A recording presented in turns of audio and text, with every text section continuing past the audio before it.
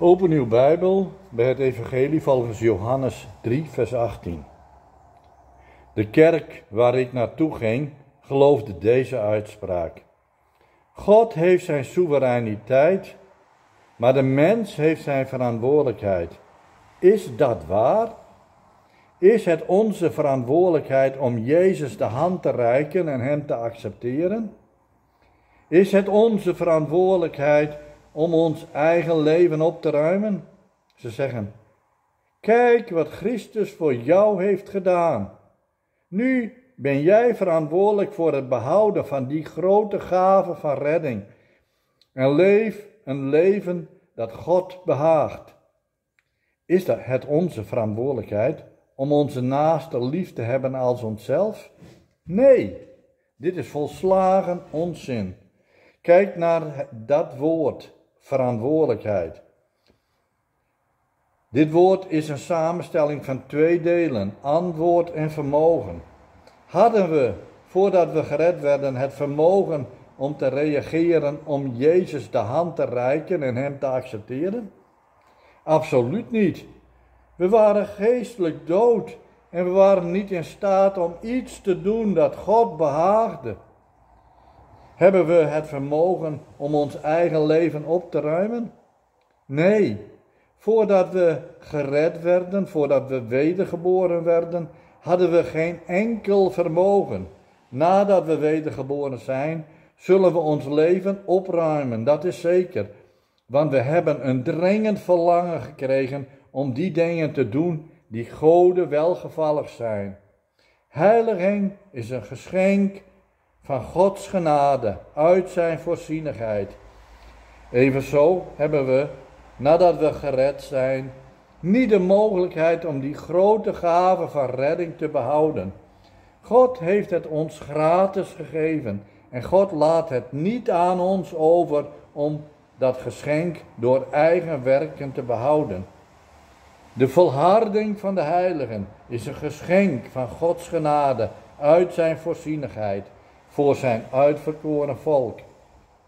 Johannes 3 vers 18 zegt, wie in hem gelooft, wordt niet veroordeeld, maar wie niet gelooft, is reeds veroordeeld, omdat hij niet heeft geloofd in de naam van de enige geboren Zoon van God. En dit is de veroordeling, dat er licht in de wereld is gekomen en dat de mensen de duisternis meer lief hadden dan het licht, omdat hun daden slecht waren. Is het onze verantwoordelijkheid om in Christus te geloven? Nee. Jezus zei in Johannes 6, vers 44: Niemand kan tot mij komen, tenzij de Vader die mij gezonden heeft hem trekken. Het is Gods verantwoordelijkheid om allen tot Jezus te trekken die de Vader voor de grondlegging van de wereld in Christus heeft uitverkoren. Voordat God ons tot Jezus trok, waren we allemaal ongelovigen, zoals de verworpenen. En we hielden meer van de duisternis dan van het licht, omdat onze daden slecht waren. In plaats van het woord verantwoordelijkheid zouden we het woord aansprakelijkheid moeten gebruiken. We worden niet verantwoordelijk gehouden maar we worden wel aansprakelijk gesteld. Was het Farao's verantwoordelijkheid om te geloven wat Mozes zei? Nee. Net zoals de heiligen werden gekozen voor de grondlegging van de wereld, zo werd Farao verworpen voor de grondlegging van de wereld. Spreuken 16 vers 4 en Romeinen 9 vers 17 zeggen het zo duidelijk. Maar hij zal voor God aansprakelijk worden gehouden voor al het kwaad dat hij heeft gedaan. Sla zo ongeveer 75 bladzijden naar rechts, naar Handelingen van de Apostelen, hoofdstuk 15, vers 17.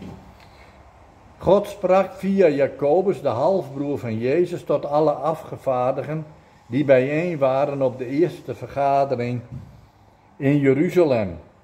Want wat hij daar zei, verraste alle Joden in het publiek. Hij herinnerde hen eraan van de profeet Amos dat God de tabernakel van David zou herbouwen. wat de kerk van de Heer Jezus Christus is. En toen zei God in Handelingen 15, vers 17, opdat de rest van de mensen de Heere zou zoeken. En alle heidenen over wie mijn naam is uitgeroepen, zegt de Heere, die al deze dingen doet. Goden zijn al zijn werken van eeuwigheid bekend. Alle heidenen, over wie mijn naam is uitgeroepen, is een verwijzing naar alle uitverkorenen onder de heidenen. Ik zie mezelf daardoor God worden aangesproken via Jacobus. Dan worden de woorden, zegt de Heere, die al deze dingen doet. Dit spreekt van de handen van God.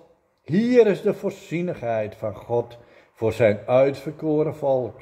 Maar het volgende vers, vers 18, spreekt ook van de handen van God in de wereld.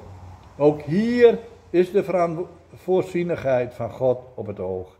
Maar nu is het niet alleen God die voor zijn uitverkoren volk zorgt, maar ook voor alle verworpenen. Want dit vers zegt, al zijn werken